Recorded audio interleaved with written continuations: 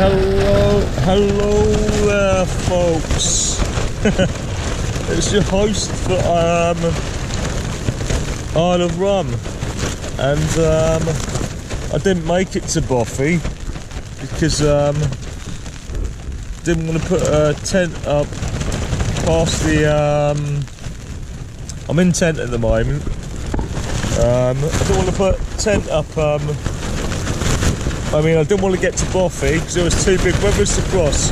And there's a storm today, as you can see in my tent. Yep, this is a storm. I'm in the Jack Wolf skin uh, Frostmere tent. And a pretty, pretty damn strong wind on the Isle of Rum. And um, I've got no wind shelter because um, all the places with wind shelter was really damp and yeah, not very nice. So I put it on top of a mound right by facing the Atlantic Ocean.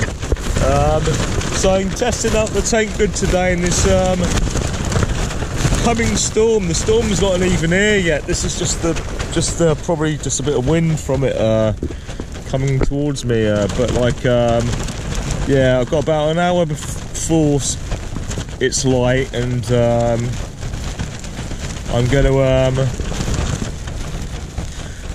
hopefully get back okay. Well, I'm sure I will.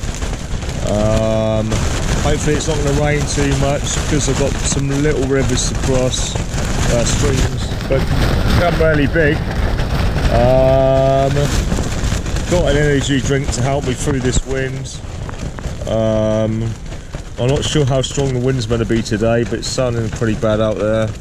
Um, I'm going to wait till it gets light to go while it's like this. It is starting to rain, unfortunately. Um, so good job I didn't cross the rivers to the Boffy. And I'm going to make my way back in um, about an hour's hour's time. Hopefully, hopefully the tent doesn't blow down. You know.